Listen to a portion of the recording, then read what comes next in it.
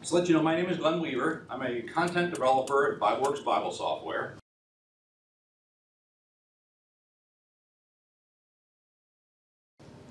First of all, concerning help, we do have on our on our website there is our uh, contact information there for support. So you want to go to your to the website if you do have questions about the program. We do have our forums as well. You can go to the, the forums and ask questions there, and we have some very, very knowledgeable BibleWorks users that are on the forums as well.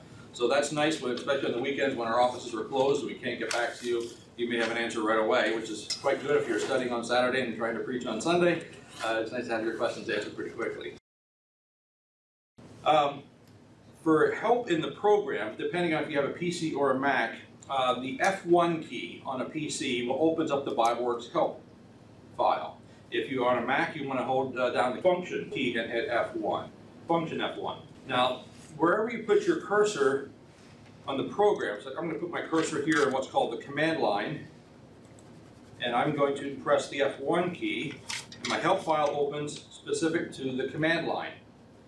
And if I put my cursor in the middle of the window here, which is the browse window, and I press the F1 key, I have the help file opens concerning the browse window. And the help file functions that way throughout the program. So wherever you are in the program and you know, you, you come out from the workshop and say, I know we talked about something in the command line, I can't remember how we did it, where do I get help on this? Try to remember that, put your cursor there at the command line and hit the F1 key, and that'll bring up the help file specific to that area. So that's, that's a good thing to remember.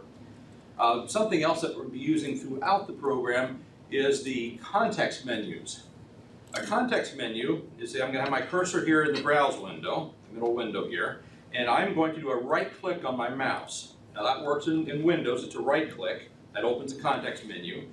And in, um, if you have a, a Windows tablet, you're going to press and hold, that opens up the context menu. Or if you're on a Mac laptop, then you use a two finger tap on your, on your touchpad. And that'll open up the context menu. That is, the context menus are very, very powerful in BibleWorks. So you want to make use of those because the context menu, just like the F1 key with the help file, is specific to the area in which you are uh, working in the program. The context menu is as well. So if I want to do something in the command line and I right click, it opens up a, a context menu specific to the command line. If I'm here in the browse window and I put my cursor on an English text and I right click, I have a context menu specific to working with the English text in the browse window. If I'm in a Greek text and I right click, I have a, a context menu that has options specific to the Greek text. Same thing we're with Hebrew. Um, so the context menus are extremely powerful. If I'm here over with my analysis window, my lexicons would be, and I right click, I'm going to have a context menu specific to the analysis window. So many times your most commonly used features are, are contained right there on the context menu.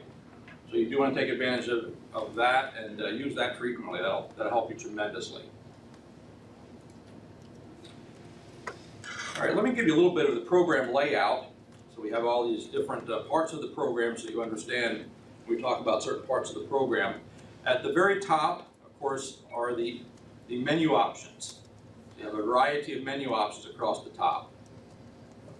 Change one setting here. There's also a toolbar immediately below the menu. Notice I didn't have it because I personally don't use the toolbar myself. I just save the screen real estate and turn it off. Um, but the, the toolbar is here, and that is going to also have some commonly used BibleWorks tools as well. You can access these tools from the menu as well. In fact, the menu is going to contain additional tools that are not on the toolbar. But uh, some people prefer to use toolbars, and so we have a number of the commonly used tools there on the, on the toolbar.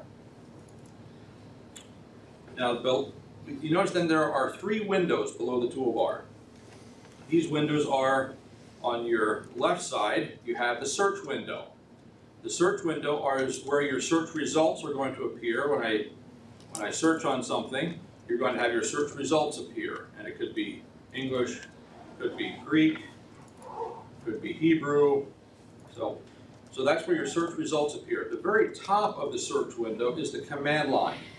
That would be similar to, say, the, uh, the Google has your uh, little command line there that you can enter in the search terms.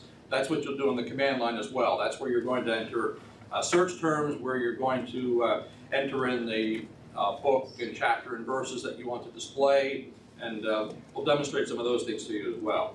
So that's the search window. Then in the middle is the browse window. The browse window is where you are going to display your texts. That's where you're going to read your texts. So you notice I have multiple versions there, and uh, you can add and, and remove versions. We'll show you how to do that as well. And then in the far right is the analysis window. The analysis window has, as you can see, there's a lot of tabs here. But uh, in a brief summary, the analysis window is where your lexicons and dictionaries, or your language lexicons are going to appear. So that's that window. And there, there's lots of other functionality in that window as well, and uh, we'll show you that in a little, little bit throughout the day as well. The uh, very bottom of the program has a status bar, the very bottom. You're going to see here such things as some search statistics at the bottom. You're going to see your search versions, uh, some different options that are, are turned on. Um, you'll occasionally want to use, use that status bar as well.